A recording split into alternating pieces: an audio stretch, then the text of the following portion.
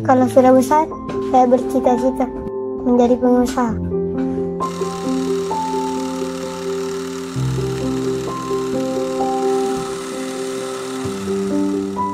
Saya Ibu Putri Ramadhani, ibunya Abizar Al-Ghifari. Ini anak Abizar diberikan bantuan modal usaha oleh Kementerian Sosial.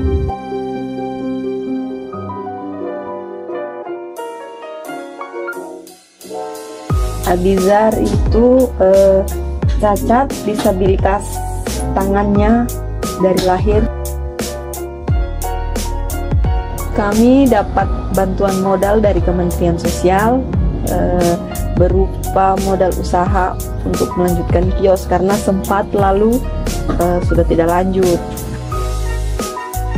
Alhamdulillah dengan modal usaha ini eh, dapat membantu kebutuhan sehari-hari. Dalam satu bulan keuntungan kios ini eh, sekitar 500 sampai 700-an. Kami keluarga Abizar mengucapkan terima kasih banyak kepada Ibu Menteri Sosial karena dengan modal usaha yang diberikan dapat membantu eh, kebutuhan keluarga kami.